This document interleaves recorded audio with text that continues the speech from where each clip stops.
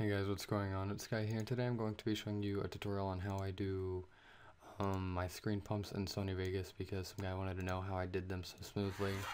Um, he actually commented right here. So, yeah.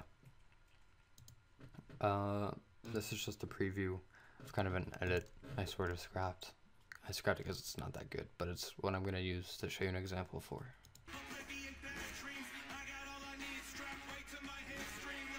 Um, I don't think it looks choppy or anything. Uh, apparently nobody else does either. Uh, so basically what I do is, actually no, you know what? First I'll show you what they should look like, and then I'll do it myself. Uh, you should go to the shot, uh, okay, if you're using Sony Vegas, you should definitely use markers to mark your shots. And so you go to the marker, wherever the beat is, or wherever you want it to pump, I guess. Um, once you do that, you want to, uh, actually, I'm just gonna do this and delete all of that and reset all on velocity. Okay. So basically what you do is say I want it to pump right here. Is a thing. So I basically zoom in a little bit on the timeline position thing and actually reset. Um, why is that? Okay, I'm sorry.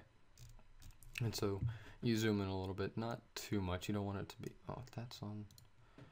You, you zoom in a little bit, just around that. It doesn't have to be perfect and you set that keyframe to fast by right clicking and selecting fast. Go back about five frames. Right click on the thing, set restore, and select this one as slow. And then I just go up to the next keyframe I want it to pump on and I go back one, two, three, four, five frames, restore, set that to slow. And uh, then I copy, actually, yeah, I copy this keyframe over here. I go back to the frame I want it to pump on, do that, and basically just you keep on repeating that. One, two, three, four, five, restore, set to slow, and paste. So.